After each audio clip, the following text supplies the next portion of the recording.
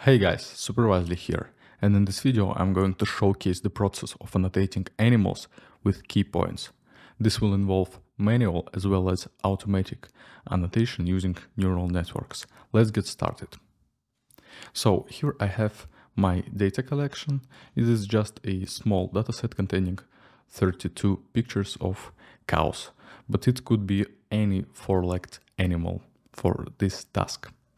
So let's pick a random image and go into the labeling interface itself. I will start with manual annotation. Here I have a picture of cow and the first thing we need to do when working with key points is we need to create a key points class.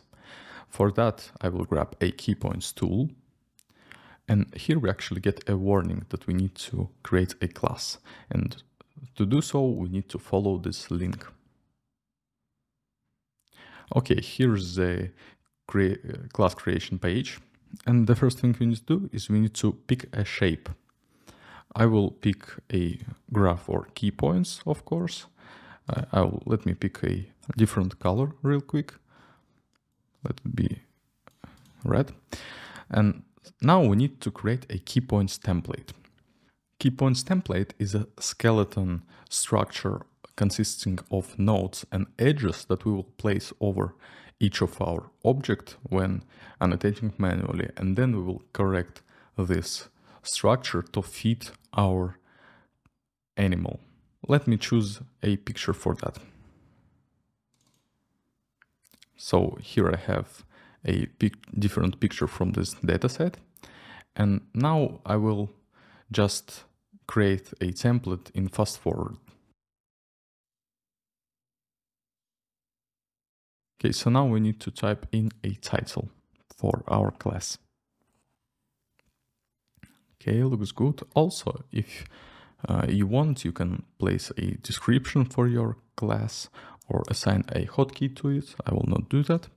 Let's press save. Okay, our class is created. We can return to the uh, labeling interface. Okay, so now we need to place two points uh, kind of like when we place a bounding box over an object. So one in the top left corner and the other one is bottom right corner. Okay, so as you see, the key points didn't perfectly fit our cow, so we need to adjust them a little bit. Let's do that. And also, you may or may not have noticed that when working with key points, on the top panel we have a three tool selection. First of which being a drag a point to move tool, second is disable or enable points, and the third one is a click on a point to remove. The first tool is used to drag around points to correct them and move them. Second is used when a certain point is not visible. So let's say on a picture we don't see this point, we can just select this tool, press on this point, and the lines that connect the points are now in gray. On this picture we can see that really good, but they are. So when some of the points are covered and not visible, we can use this tool. And the last tool is used to obviously remove some points. Also, I almost forgot to mention that when creating a class, we could rename each of the points to, to let's say, hips or uh, left ear, right ear, uh, etc.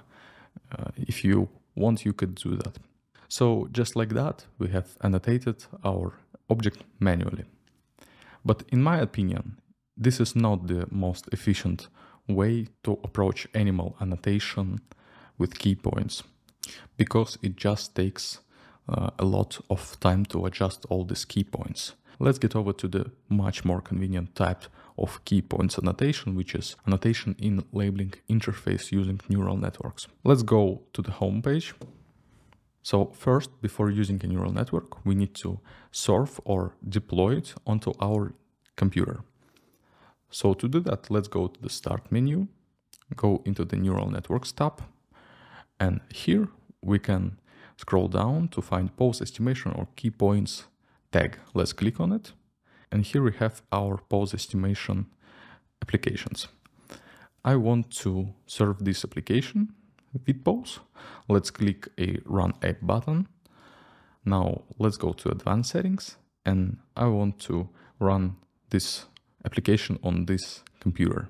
If you want to know how to connect your computer to Supervisely, I will leave a link in the description to the videos where I show this process both for Linux or Mac OS users and for Windows users. Let's click Run button. So here is a table of pre-trained models available for, for this application. We, of course, need uh, animal pose estimation models, so I will go with a large model because I have a lot of GPU memory. So here we have a list of supported animal species. And now let's press serve button. Okay, so the model has been successfully loaded onto our device. Let's go to our data.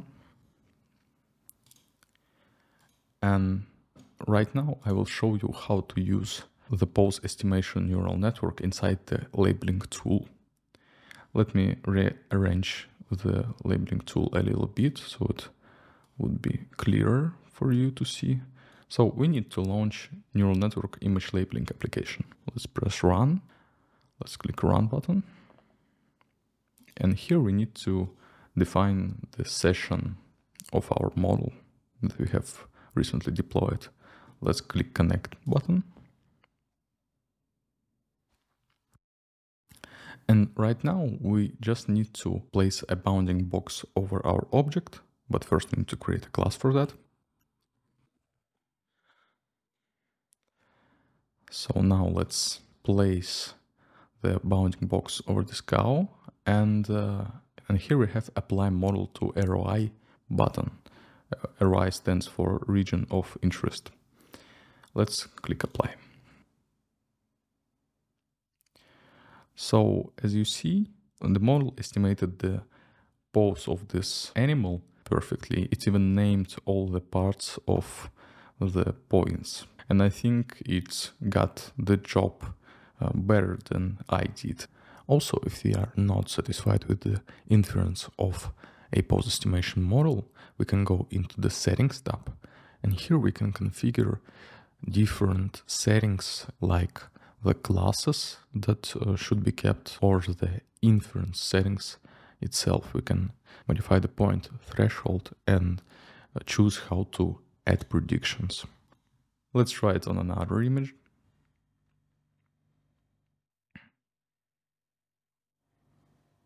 Let's click apply model to ROI. Let me zoom in a little bit. And yes, really cool. But what if we have a large data set or project that consists of many thousands or even millions images and we don't have the time to place bounding box over each cow and click apply model that would be very inefficient. So we have another application that covers this task. Let me show it. Let's go into the neural networks page and here we can go to the pose estimation key points tag again. And here we have apply detection and pose estimation models to images project. But to use this application, we need to have an object detection neural network as well as pose estimation neural network models deployed onto our device at once. So let me actually serve a YOLO V8 model for object detection. I will serve it on the same agent. Let's click run button. Okay, so here we have a couple of model sizes. I will choose uh, the large model and pick an object detection task type. Let's click serve. Okay, let's go into the neural networks tab once again. Go to the pose estimation key points tag and run this application. Let's select our project and here in advanced settings I will deploy it onto the same agent once again. Right now the output shows that the application is started, so we can click the open button. Okay, so now we need to select the input project. I have done that. Now let's connect to the detection model. If you have several of object detection models deployed onto your device, you can choose between them. I have only YOLOv8, so let's connect to that. Next, we need to uh, select detection model classes. Uh, in my case, I only need to detect cows, so I will only choose cows. Let's press select one class button. Now we need to configure the detection settings. I will leave them on default. Here we have a detection inference preview and as we see it works pretty good so I'm satisfied with that. Next we need to connect to the pose estimation model. I will choose ViTPose.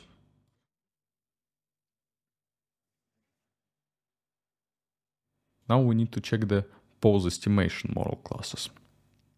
Once again, I only need to estimate the poses of a cow. So let's only select that.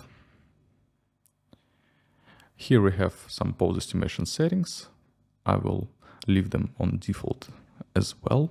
And here once again we have uh, the inference preview of a pose estimation model. Now we need to configure the output project name. I will leave it as is. Now let's press apply model.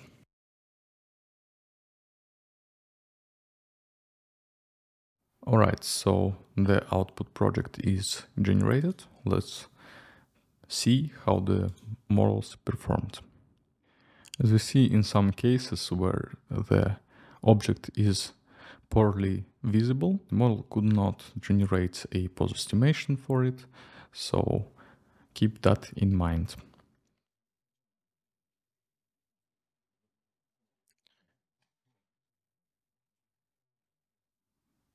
And even on this instance, the model got a good pose estimation over these objects.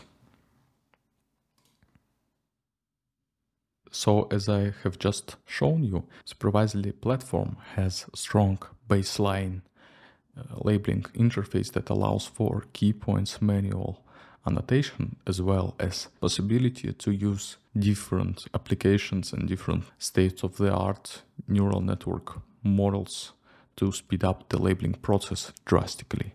If you have enjoyed this video, please leave a like and subscribe to our channel. And if you have some questions, leave them in the comments. Thank you for watching. See you in the next one.